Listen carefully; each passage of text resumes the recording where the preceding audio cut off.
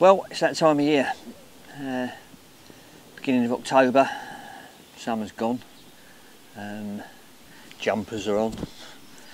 Two jumpers on actually. Uh, time to change your footwear as well. I generally live in Crocs for most of the summer. Pad about barefoot, that's because I'm an old hippie. Uh, this time of year, you don't want cold feet. You don't want wet feet. You don't want wet and cold feet. So I have my new boots for the autumn and winter. Look at them beauties. They are so comfortable. Proper padded, loads of padding.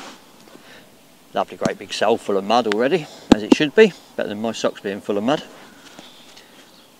Quite high up the leg, laced right up comfortable if you want them if you're off walking. A lot of the time I just lace them halfway up and leave them open like that. But the beauty of these is they weigh nothing, literally, it's just a few ounces. Very comfortable, very light, super, super warm. Perfect for sitting here waiting for an autumnal whacker. I'm sure there's going to be one along pretty soon.